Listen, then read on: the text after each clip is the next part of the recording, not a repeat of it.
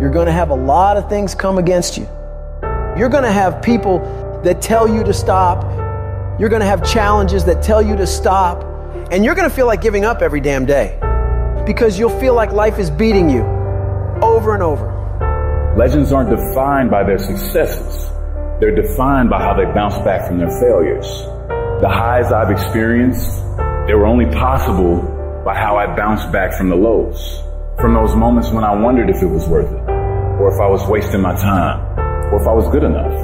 People are gonna think you're crazy. And sometimes you're gonna think you're crazy. You're gonna question yourself. It takes guts, ladies and gentlemen, to go through that. People used to laugh at me in Detroit when I was sleeping on the floor of my office in the Penobscot building.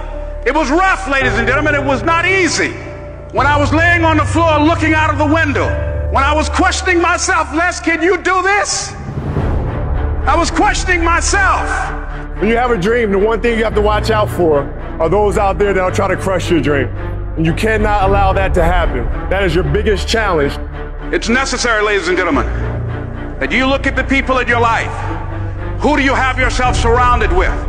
It's necessary, ladies and gentlemen, that you get the energy drainers out of your life, the dream busters. Get them out of your life. They will deplete your energy. They're going to laugh at you. You got to stop looking to others for support and look inside yourself. The lion in you never retreats. Imagine us taking the lion approach to life. I ain't backing up. A lion don't walk backwards for nothing. You got to tell yourself, I can do this. You're more powerful than you realize. You're stronger than you think you are.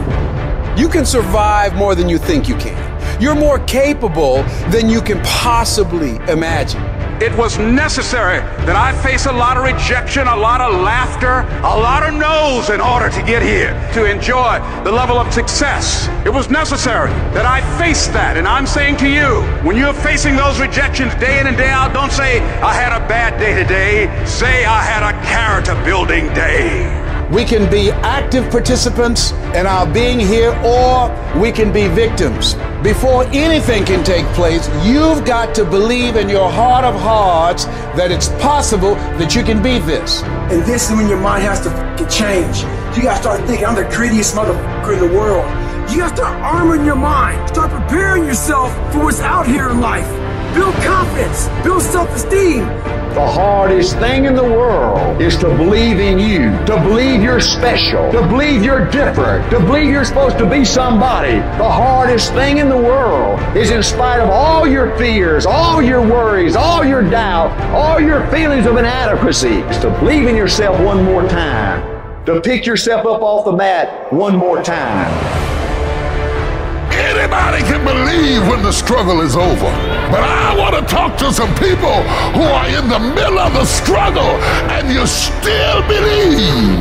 I know you're tired. I know your arms are aching. I know your mind is frustrated. I know you feel like it's not fair. I know you feel like throwing up your hands and you're depressed and you lost loved ones and you've been through heartaches and it's not the best time in your life. All hell might be breaking loose in your life, but tell them I can do it. If it don't happen, I can do it. If you don't love me, I can do it.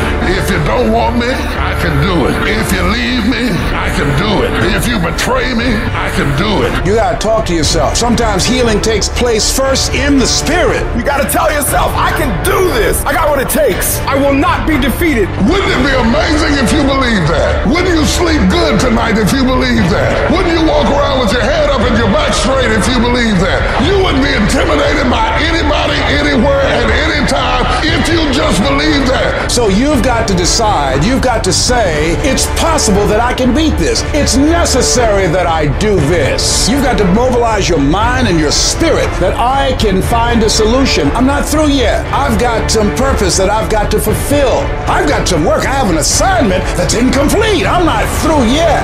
I'm not going out like this. I'm going to fight. And it's necessary that you take charge, that you begin to stand up with inside of yourself, that you dry your tears and you're not given the luxury of feeling sorry for yourself, that you get busy. You start doing research and asking questions, that you got to get in a fighting mode. You can't surrender. You can't be a chump. You got to fight back. You got to stand up and start. So wait a minute, what is it I need to do? You got to make yourself move even if it hurts. Your belief must be so strong that when people doubt you, ridicule you, and come against you, it's nothing but a minor inconvenience.